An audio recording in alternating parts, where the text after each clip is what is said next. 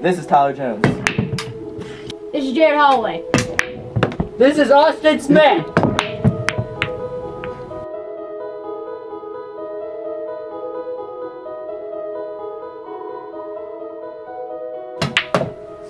It's my turn still?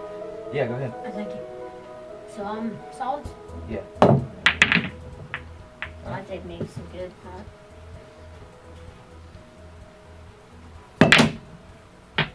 Hey, does anybody know what a noun is?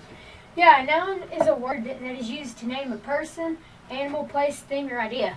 Yeah, noun can also function in a sentence as a subject, direct object, indirect object, appositive adjective, or adverb. Oh, thanks, guys. No problem.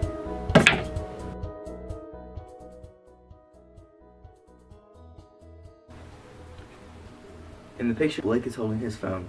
Phone is a common noun which refers to a person, place, or thing in a general sense.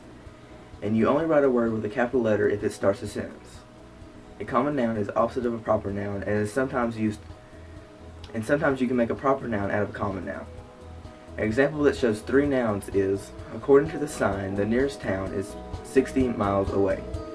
The three common nouns are as follows, sign, town, and miles.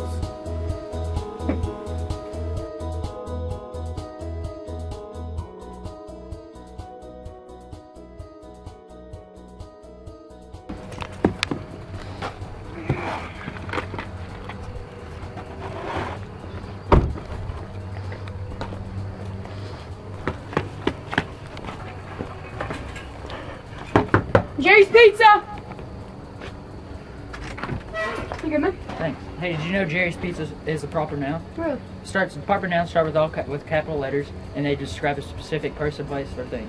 Thanks, I didn't know that. Well, you're welcome. Have a nice day.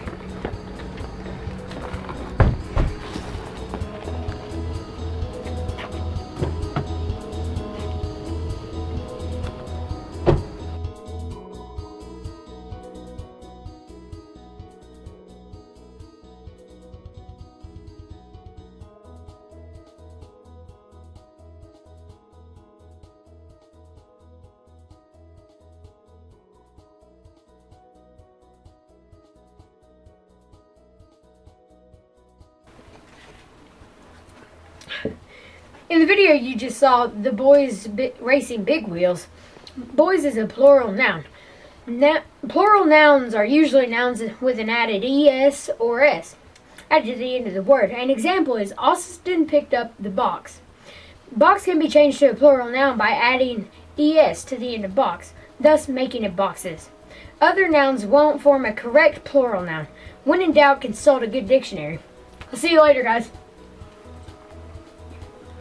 Thanks, Jared. I would also like to add that Austin fell onto the pavement in the video. Pavement is a concrete noun. A concrete noun is anything or any person that you can perceive through physical senses like touch, sight, hearing, or smell. Concrete nouns are opposite of abstract nouns, which we will learn about later in the video.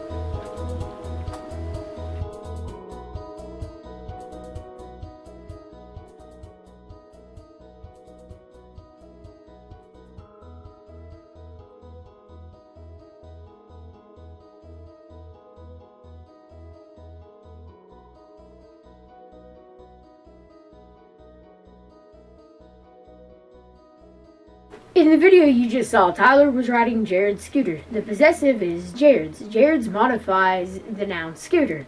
Possessive nouns show possession of an object, sometimes people. Nouns usually become possessive with a combination of an apostrophe and the letter S. An example is Tyler's room, spelt T Y L E R S apostrophe S. It can also be changed to possessive if it ends in s, just by simply adding apostrophe to the end.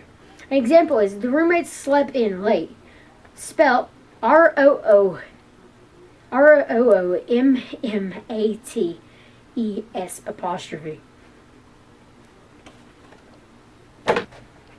Also in the video, Tyler got angry. Angry is an abstract noun which names anything which you cannot perceive with your five senses. Abstract nouns are opposite of concrete nouns, which we learned about earlier. Some more examples are love, hate, thoughts, and peeved.